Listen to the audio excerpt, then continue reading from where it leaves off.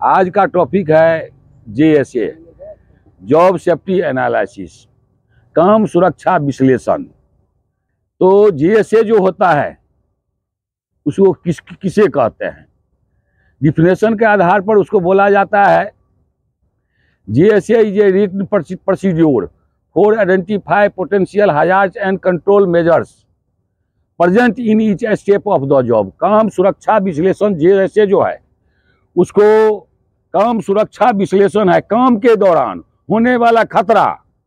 खतरा के को बचाने बचाव के लिए जो भी प्रिकॉशन लिया जाता है, जो भी सावधानी लिया जाता है, उसी को जेएसए बोला जाता है। ये जॉब सेफ्टी एनालिसिस जो बनता है, कोई भी काम चालू करने से पहले साइड चालू करने से पहले, कितना तरह का काम होगा साइड में? वो काम दिया रहता है। उसको बोला जाता है जॉब आइडेंटिफिकेशन क्या काम होगा? तो क्या काम होगा? तो उसके लिए मान लो जो वेल्डिंग होगा। तो वेल्डिंग होगा। तो वेल्डिंग में क्या क्या खतरा है?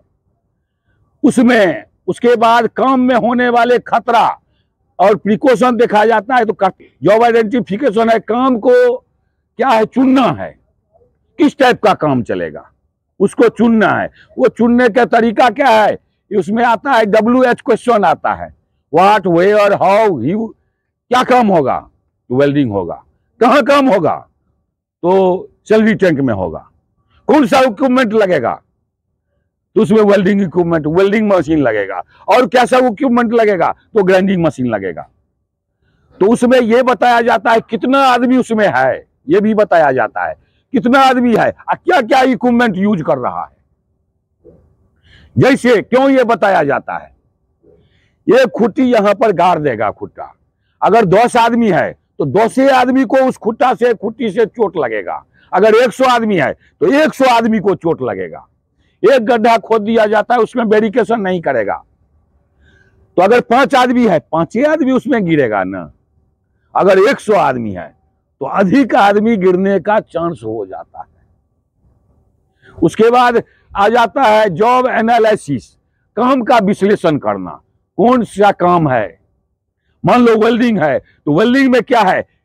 वेल्डिंग के बाद है, उसमें रेडिएशन हज़ार है आँख में लगने का खतरा है इलेक्ट्रिकल शॉक लगने का खतरा है इक्विपमेंट से खतरा होने का फ़िज़िकल खतरा होने का चांस है।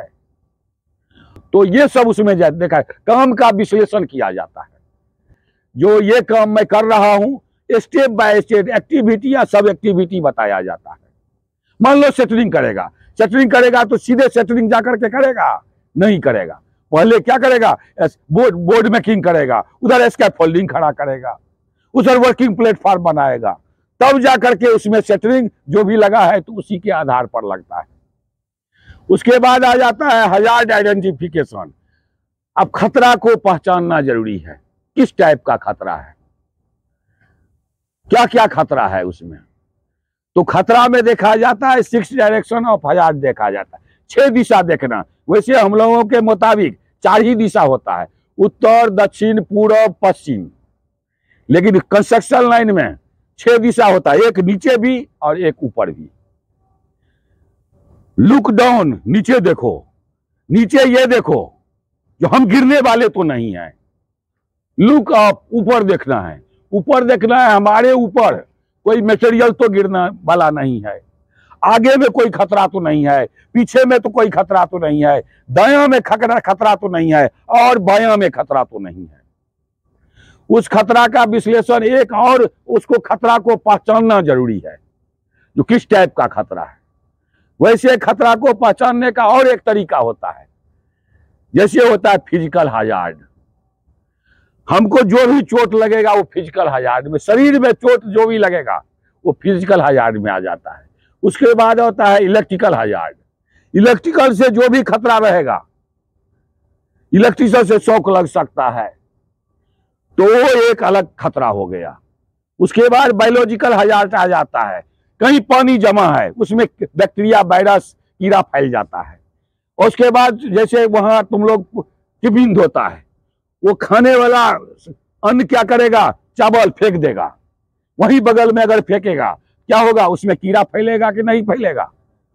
दो फैल जाएगा। वही हो गया बायोलॉजिकल हजार्ड उसके बाद आ जाता है मैकेनिकल हजार्ड मैकेनिकल हजार्ड वो हो गया मैकेनिक जो भी सामान चलाएगा, जैसे ग्राइंडिंग मशीन चलाएगा कटिंग मशीन चलाएगा तो क्या होगा? उसमें गार्ड लगा हुआ रहता है।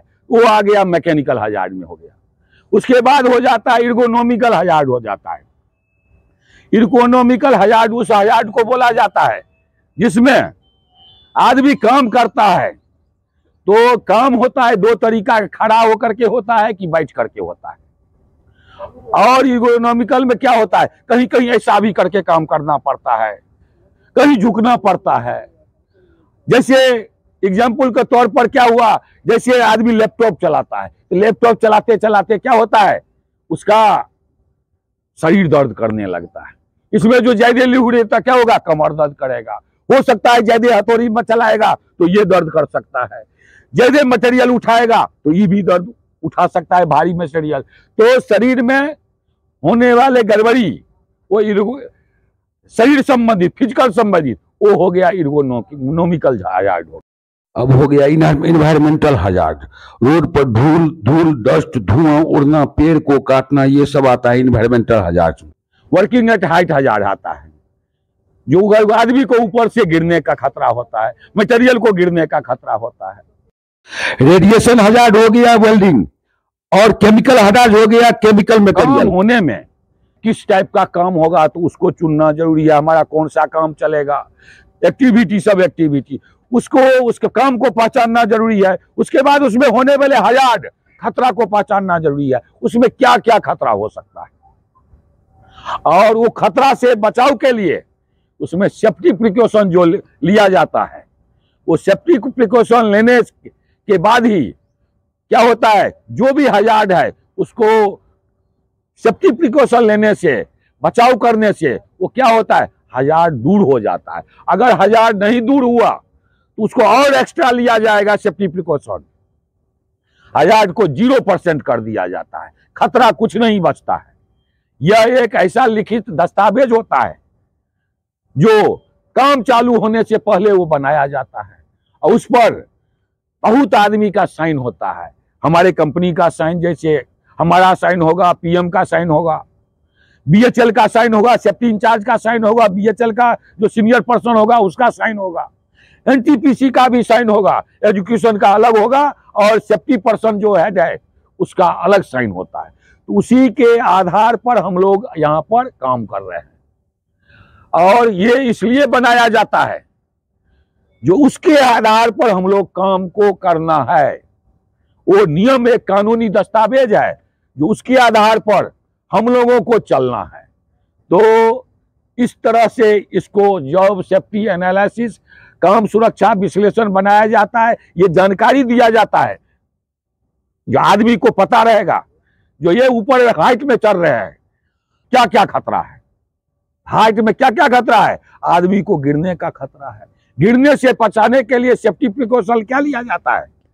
सेफ्टी प्रिकॉशन लिया जाता है सेफ्टी बेल्ट लगाया जाता है। इसके अलावा hand rail mid rail top rail लगाया जाता है। वर्किंग प्लेटफॉर्म बनाया जाता है। तो आदमी गिरेगा नहीं गिरेगा। लेकिन अगर आदमी प्लेटफॉर्म नहीं बनाएगा, वैसे कहीं पर खड़ा हो जाएगा। जैसे सर्कस में नहीं होता है, सर्कस में क्या करता है? यहाँ से कूदता है, एक उधर से कूदेगा। और वो क्या करेगा? एक पर लटक लेगा। और ये जो कूदने वाला है, उसका पैर पकड़ लेगा। यही सर्कस में दिखाया जाता पैर पकड़ के लटकते जाएगा। फिर वो घुमा करके, कैसे करता है, वैसे उसका भी सेफ्टी प्रिकॉशन दिया जाता है। क्या? नीचे में नेट लगाया जाता है जाल जो कहीं मिस होगा। क्या होगा? गिरे, गिरेगा तो जी जिएगा वो मर जाएगा। तो वो सर्कस में दिखाया जाता है जो खेला दिखाया जाता है। खेला में आदमी को पैसा मिलता है। और यहाँ जो दिखाया जाएगा खेला उसको पैसा भी नहीं मिलेगा। हाजिरी भी कट जाएगा। हाथ पाँव भी टूटेगा। तो गड़बड़ी नहीं करना है।